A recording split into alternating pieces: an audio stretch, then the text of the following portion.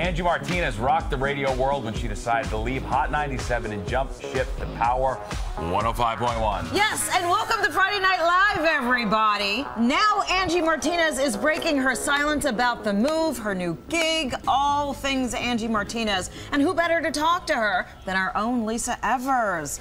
Lisa, this was an incredible, incredible get. Everybody's excited to know about how she feels about the move she made. Well, Dari and Steve, I mean, it was a big move for her. She spent her entire radio career at Hot 97, but Power 105 was a new opportunity. She said it was time for a change and overwhelmed by the support that she got from some people. So she invited us in for this exclusive interview. Awesome. Take a look. Terrific. 1-800-585-1051. Hashtag Angie on power. The power move. I know. How oh crazy is that, Lise? Fantastic. Congratulations. Oh, thank you, man. I'm so excited. It was day two for Angie Martinez at Power 1051 oh and her first TV interview in her new studio.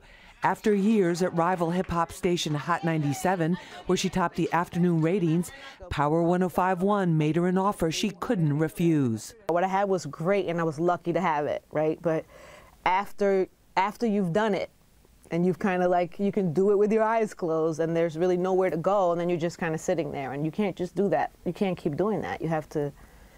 You have to. You have to grow. Angie is known as the voice of New York for her interviews with celebrities, ranging from rappers and actors to the president. She's on a first name basis with them. a lot of people called in, like Jay called and Swizz called and Rick Ross and Fab and all these people called, and that's amazing and that's great. But really, I spent most of my time on the phones and talking to people and finding out. It's like re- get, it's like starting like like it's pressing a reset button. So it's starting from scratch. But it's the intimate connection with her fans she values most. I just feel like everybody has their own things to do, and to take time out of your life and out of your day to send me a message that's so touching and.